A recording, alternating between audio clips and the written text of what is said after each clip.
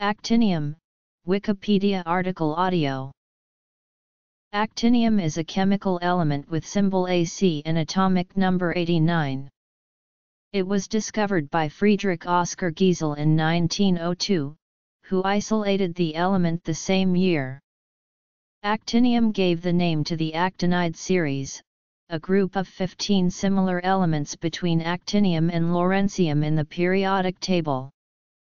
It is also sometimes considered the first of the seventh period transition metals, although lawrencium is less commonly given that position. Together with polonium, radium, and radon, actinium was one of the first non-primordial radioactive elements to be isolated. A soft, silvery white radioactive metal, actinium reacts rapidly with oxygen and moisture in air forming a white coating of actinium oxide that prevents further oxidation. As with most lanthanides and many actinides, actinium assumes oxidation state plus 3 in nearly all its chemical compounds. Actinium is found only in traces in uranium and thorium ores as the isotope 227 AC, which decays with a half-life of 21.772 years, predominantly emitting beta and sometimes alpha particles, and 228 AC, which is beta active with a half-life of 6.15 hours. 1 ton of natural uranium in ore contains about 0.2 mg of actinium-227, and 1 ton of natural thorium contains about 5 nanograms of actinium-228. The close similarity of physical and chemical properties of actinium and lanthanum makes separation of actinium from the ore impractical. Instead, the element is prepared, in milligram amounts, by the neutron irradiation of 226 Ra in a nuclear reactor. Owing to its scarcity, high price, and radioactivity, actinium has no significant industrial use. Its current applications include a neutron source and an agent for radiation therapy targeting cancer cells in the body. History Properties André-Louis Debierne, a French chemist, announced the discovery of a new element in 1899. He separated it from pitchblende residues left by Marie and Pierre Curie after they had extracted radium. In 1899, Debierne described the substance as similar to titanium and as similar to thorium. Friedrich Oskar Giesel independently discovered actinium in 1902 as a substance being similar to lanthanum and called it emanium in 1904. After a comparison of the substance's half-lives determined by Debierne, Harriet Brooks in 1904, and Otto Hahn and Otto Sackur in 1905, Debierne's chosen name for the new element was retained because it had seniority, despite the contradicting chemical properties he claimed for the element at different times. Articles published in the 1970s and later suggest that Debierne's results published in 1904 conflict with those reported in 1899 and 1900. Furthermore, the now known chemistry of actinium precludes its presence as anything other than a minor constituent of Debierne's 1899 and 1900 results, in fact, the chemical properties he reported make it likely that he had, instead, accidentally identified protactinium, which would not be discovered for another 14 years, only to have it disappear due to its hydrolysis and adsorption onto his laboratory equipment. This has led some authors to advocate that Giesel alone should be credited with the discovery. A less confrontational vision of scientific discovery is proposed by Adloff. He suggests that hindsight criticism of the early publications should be mitigated by the then nascent state of radiochemistry, highlighting the prudence of Debierne's claims in the original papers, he notes that nobody can contend that Debierne's substance did not contain actinium. Debierne, who is now considered by the vast majority of historians as the discoverer, lost interest in the element and left the topic. Giesel, on the other hand, can rightfully be credited with the first preparation of radiochemically pure actinium and with the identification of its atomic number 89. The name actinium originates from the ancient Greek aktis, actinos, meaning beam or ray. Its symbol AC is also used in abbreviations of other compounds that have nothing to do with actinium, such as acetyl, acetate, and sometimes acetaldehyde. Actinium is a soft, silvery white, radioactive, metallic element. Its estimated shear modulus is similar to that of lead. Owing to its strong radioactivity, actinium glows in the dark with a pale blue light, which originates from the surrounding air ionized by the emitted energetic particles. Actinium has similar chemical properties to lanthanum and other lanthanides, and therefore these elements are difficult to separate when extracting from uranium ores. Solvent extraction and ion chromatography are commonly used for the separation. The first element of the actinides, actinium gave the group its name, much as lanthanum had done for the lanthanides. The group of elements is more diverse than the lanthanides and therefore it was not until 1928 that Charles Janet proposed the most significant change to Dmitry Mendeleev's periodic table since the recognition of the lanthanides, by introducing the actinides, a move suggested again in 1945 by Glenn T. Seaborg. Chemical compounds Actinium reacts rapidly with oxygen and moisture in air forming a white coating of actinium oxide that impedes further oxidation. As with most lanthanides and actinides, actinium exists in the oxidation state plus 3, and the AC3 plus ions are colorless in solutions. The oxidation state plus 3 originates from the 6d17s2 electronic configuration of actinium, with three valence electrons that are easily donated to give the stable closed shell structure of the noble gas radon. The rare oxidation state plus 2 is only known for actinium dihydride, even this may in reality be an electride compound like its lighter congener La2 and thus have actinium. Only a limited number of actinium compounds are known including ACF3, ACCL3, ACBR3, ACOF, ACOCL, ACOBR, AC2S3, AC2O3 and ACPO4. Except for ACPO4, they are all similar to the corresponding lanthanum compounds. They all contain actinium in the oxidation state plus 3. In particular, the lattice constants of the analogous lanthanum and actinium compounds differ by only a few percent. Oxides Here A, B and C are lattice constants, No is space group number and Z is the number of formula units per unit cell. Density was not measured directly but calculated from the lattice parameters.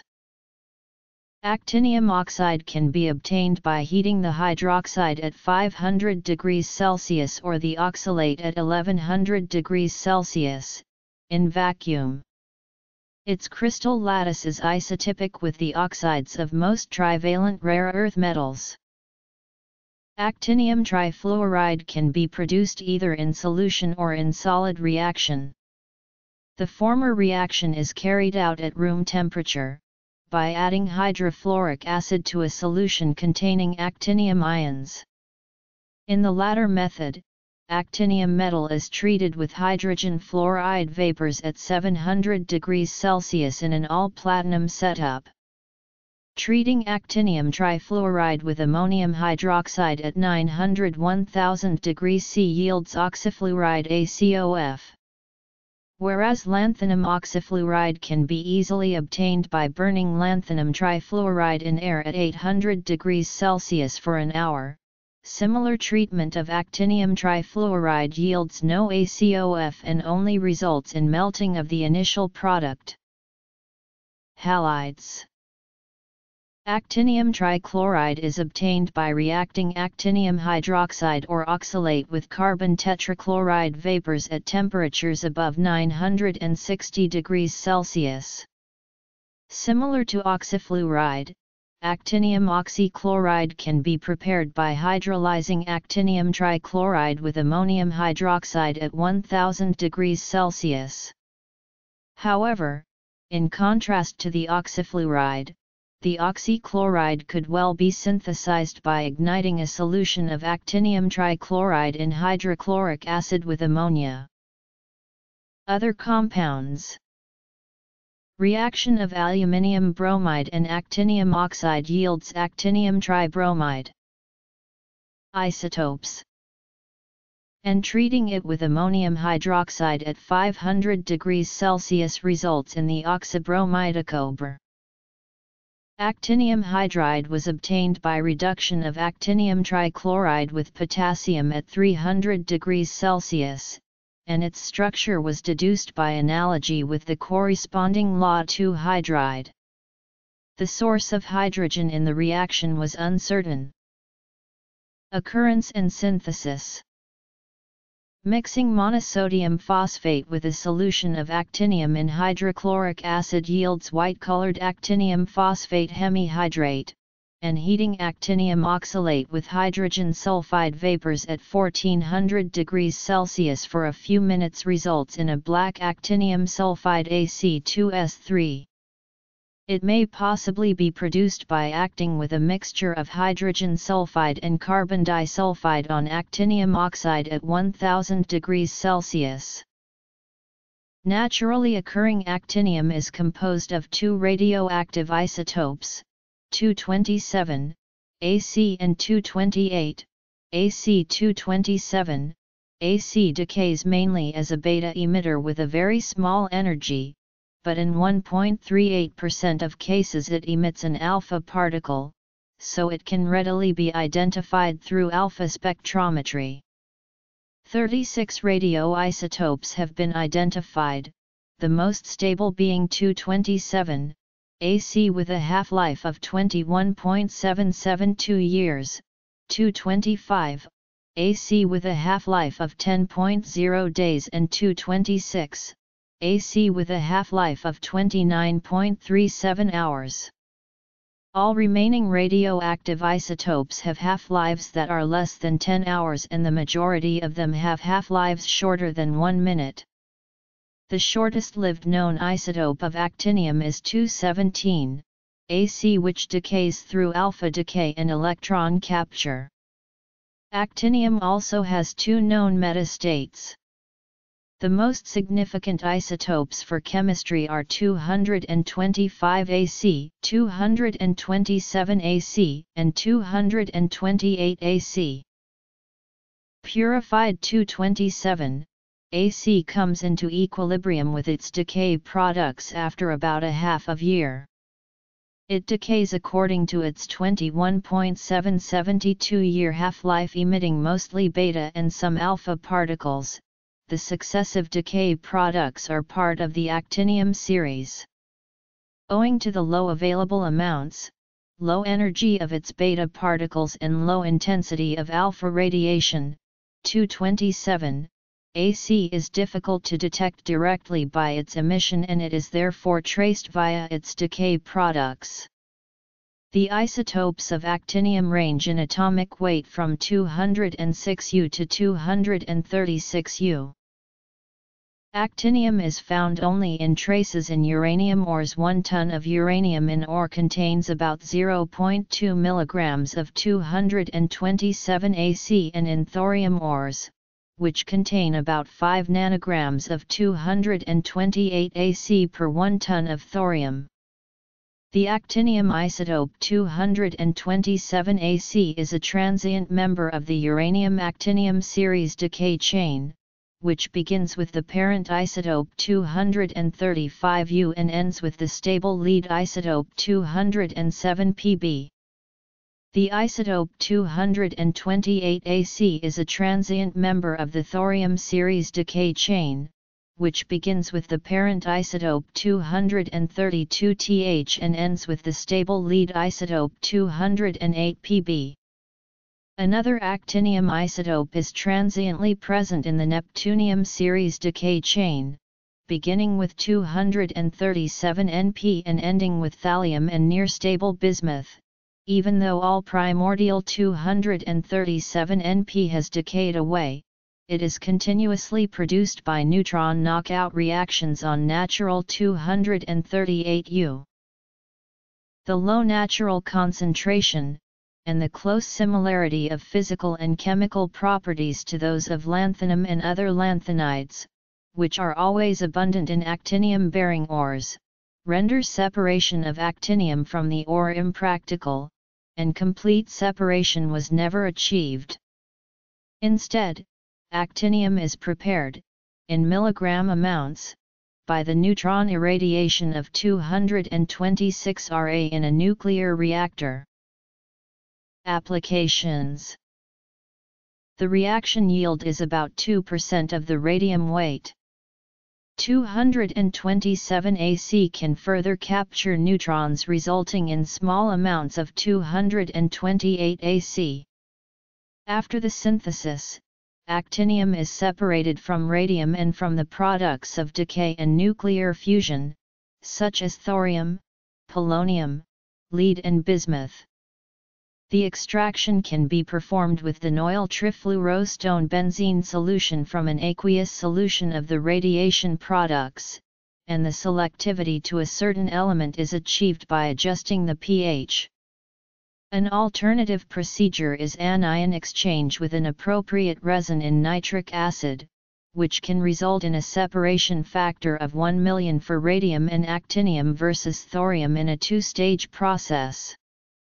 Actinium can then be separated from radium, with a ratio of about 100, using a low cross-linking cation exchange resin and nitric acid as eluent. Precautions 225 AC was first produced artificially at the Institute for Transuranium Elements in Germany using a cyclotron and at St. George Hospital in Sydney using a LINAC in 2000. This rare isotope has potential applications in radiation therapy and is most efficiently produced by bombarding a radium-226 target with 20-30 MeV deuterium ions. This reaction also yields 226 AC which however decays with a half-life of 29 hours and thus does not contaminate 225 AC. Actinium metal has been prepared by the reduction of actinium fluoride with lithium vapor in vacuum at a temperature between 1100 and 1300 degrees Celsius. Higher temperatures resulted in evaporation of the product and lower ones lead to an incomplete transformation. Lithium was chosen among other alkali metals because its fluoride is most volatile. Owing to its scarcity, high price, and radioactivity, actinium currently has no significant industrial use. 227 AC is highly radioactive and was therefore studied for use as an active element of radioisotope thermoelectric generators, for example in spacecraft. The oxide of 227 AC pressed with beryllium is also an efficient neutron source with the activity exceeding that of the standard americium beryllium and radium beryllium pairs.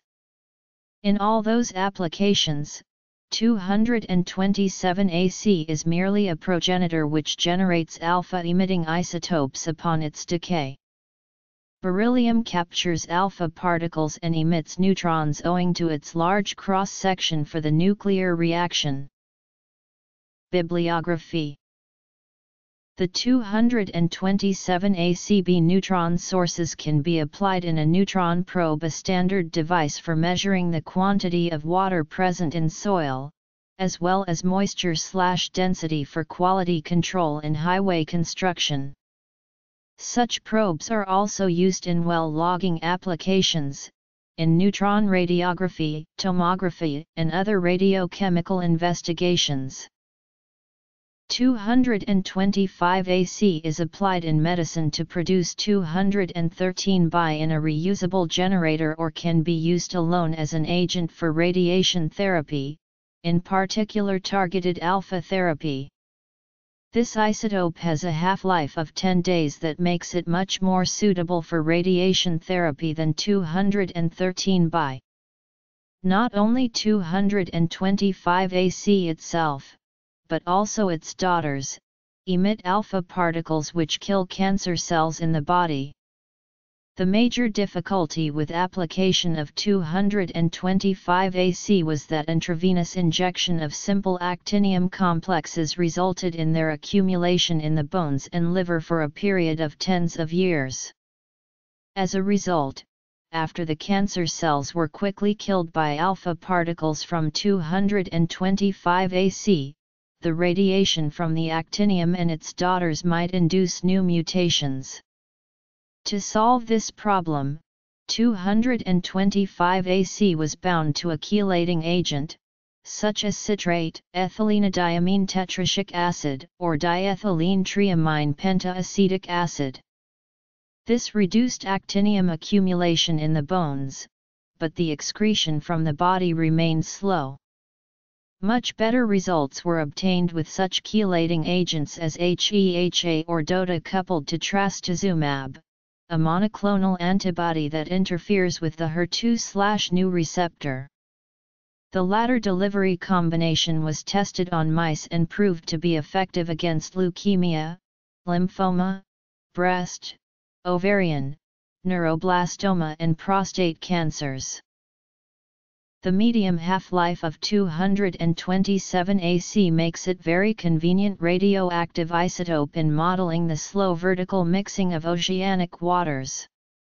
The associated processes cannot be studied with the required accuracy by direct measurements of current velocities. However, evaluation of the concentration depth profiles for different isotopes allows estimating the mixing rates. The physics behind this method is as follows. Oceanic waters contain homogeneously dispersed 235 U.